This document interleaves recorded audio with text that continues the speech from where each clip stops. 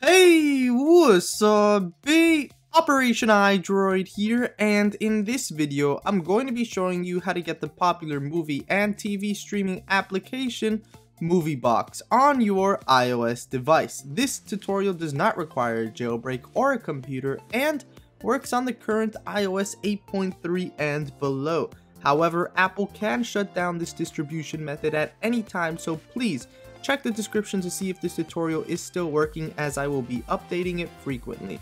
Finally, please remember that this tutorial is for educational purposes. Anyways, if you're excited to get this amazing application on your iOS device without a jailbreak or a computer, please hit that like button and let's try to reach 500 likes. Now, without any further ado, let's head into the tutorial. Alright, getting MovieBox is very simple, but make sure you follow all of the steps I do carefully. The first thing we're going to do is open Safari and type in the URL iosemusapp.x10.mx.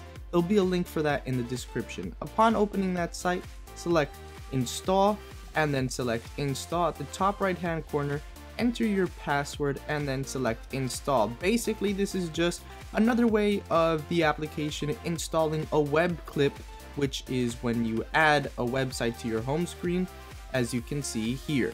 So once you have iOSEmus, go ahead and open it. And the first thing you should always do when you open this application is refresh at the top right to make sure you have the latest things on this app. Now click on the arrow pointing down at the bottom left and here you can see the key at the top. If there's a red line, it means there's a new application or updated, and if there's a green line, that means that there's a signed application which will work on any iOS. Now, the application that we are trying to get is MovieBox, as you can see here, and to install an application, all you have to do is click on it and then select install. However, at any time, Apple can revoke this installation method. So if you'd like a more permanent solution to getting MovieBox, you can check out Build Stores, which will work on any iOS and never crash. Anyways, once you have MovieBox, you can go ahead and open it and you can watch your favorite movies and TV shows instantly and it's pretty easy to navigate. You just scroll down to watch a movie or you can search or you can click on the right the three lines and then select TV shows and scroll and view TV shows. Now, to note, when you click on the three lines and you see the little loading circle, that just pretty much means that it's loading new content onto MovieBox, so don't really worry about that. But anyways, I hope you enjoy watching your favorite movies and TV shows on your iOS device.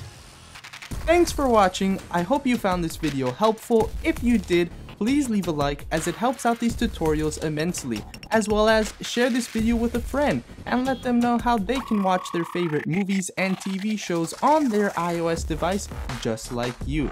Finally, if you're interested in learning some more cool stuff, like maybe playing some classic Game Boy and Game Boy Color games on your iOS device, check the description for a video on that.